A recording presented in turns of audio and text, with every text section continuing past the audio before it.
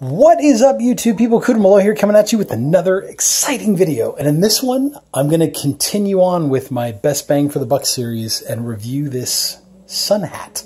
So what were my criteria for Best Bang for the Buck?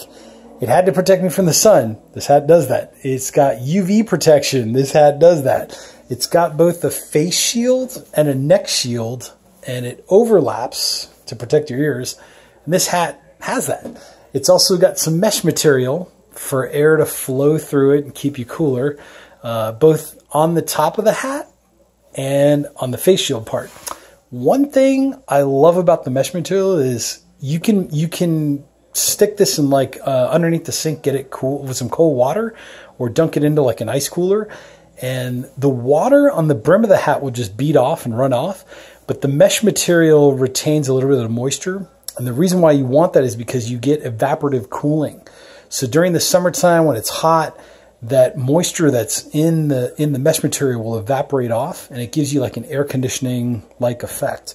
So, so that's that's pretty cool. So both on the face shield and uh, and on the the upper you know around where the crown of your head goes.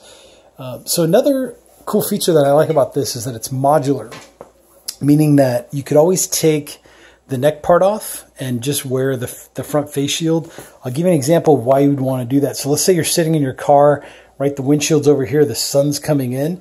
You could use this as, you know, just to protect your face because your, your eyes would be about like right, right here-ish, right? You could be wearing sunglasses, whatever, but at least this would protect your face. Like don't wear it like this because otherwise you can't see that would cause an accident.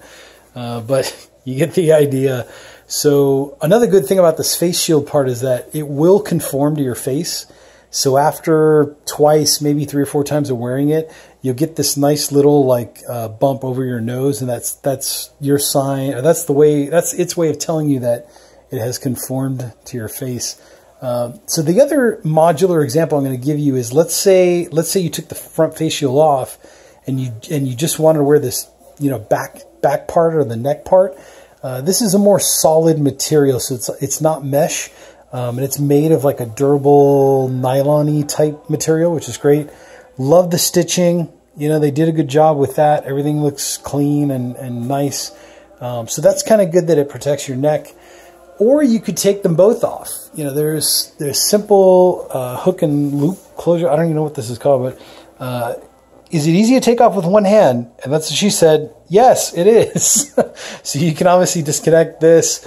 Um, and then you just keep disconnecting them and the, and the whole neck part will come off, the whole face part will come off. So just to review real quick, best bang for the buck, it's got SPF protection. It's got UV protection.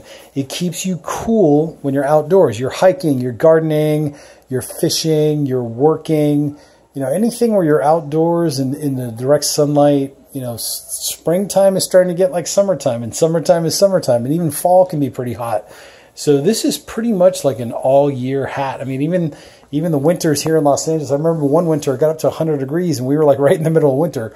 So it's definitely a good investment. Best bang for the buck. I love it. I would totally recommend it. And uh, I posted some links below. Speaking of which, this is your time to go ahead and subscribe to my channel and also click the like button and I ask that if you do buy the product, just try to buy it through the link or links below. Uh, there's one that's specifically for this color, which is a tan khaki color. And then there's another link that I posted for a light gray, dark gray color. Uh, and I'm sure more colors will be coming out soon. And I'll, I'll either update the links or, or just provide one link, the one link that's going to link all the colors together. So there you go, guys. Please like this video. Please subscribe to my channel. And I will catch you on the next one. And definitely stay tuned for more Best Bang for the Buck review products.